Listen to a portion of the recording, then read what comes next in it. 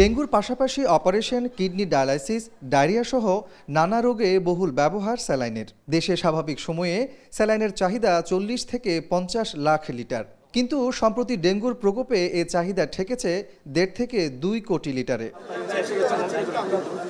দেশে মোট ছয়টি প্রতিষ্ঠান প্রতিদিন পঁয়ষট্টি লাখ লিটারের মতো স্যালাইন উৎপাদন করে। সরকারি একটি কারখানা মানহীন স্যালাইন উৎপাদন করায় বন্ধ করা হয়েছে। আরেকটি বেসরকারি কোম্পানির কারখানা আগুনে ক্ষতিগ্রস্ত হওয়ায় এখন বন্ধ। এতে তীব্র হয়েছে স্যালাইন সংকট, যার সুযোগ নিচ্ছে অসাধু ব্যবসায়ীরা। ওষুধ কোম্পানি সাপ্লাই দিলেও এটা জনগণের হাতে পৌঁছার আগে মধ্যস্বত্বভোগী, হয়তো ফার্মেসি অথবা অন্য কোনো জায়গায় সেটাকে ওরা দাম বাড়ায় দিচ্ছে। এটার ব্যাপারে ওরা ইচ্ছে করে কম আছে বলে বলতেছে এবং এই ব্যাপারে আমাদের অভিযান কন্টিনিউয়াস চলতেছে, ভোক্তা অধিকার আমাদের সাথে কাজ করতেছে।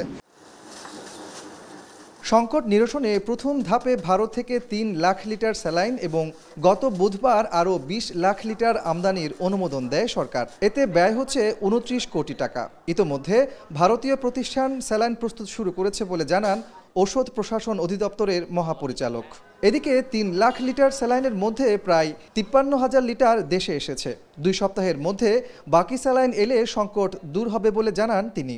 প্রতিদিন দুই চার গাড়ি করে ঢুকতেছে এবং আশা করি ভবিষ্যতে আমাদের এই আগামী দুই সপ্তাহের মধ্যে সংকট কেটে যাবে। আমাদের যে বিশ লাখ কিনা হয়েছে, ওইগুলো দুই সপ্তাহের মধ্যে দেশে ঢুকবে। ব্যবসায়ীরা বলছেন, ভারতে স্যালাইনের বর্তমান দাম তেতাল্লিশ থেকে পঁয়তাল্লিশ রুপি, যা বাংলাদেশি টাকায় সাতান্ন টাকার কাছাকাছি। আমদানি করা এ স্যালাইন যত দ্রুত বাজারজাত হবে, তত দ্রুত স্থিতিশীল হবে বাজার।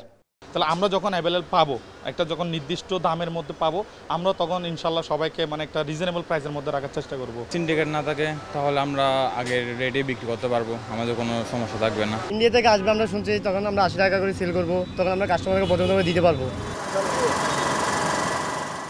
বাংলাদেশ প্রতিযোগিতা কমিশনের তথ্য অনুযায়ী ভারতে প্রতি ব্যাগ স্যালাইনের মূল্য তেতাল্লিশ রুপি আর বাংলাদেশে প্রতি ব্যাগ স্যালাইনের মূল্য নব্বই থেকে একশো টাকার মধ্যে।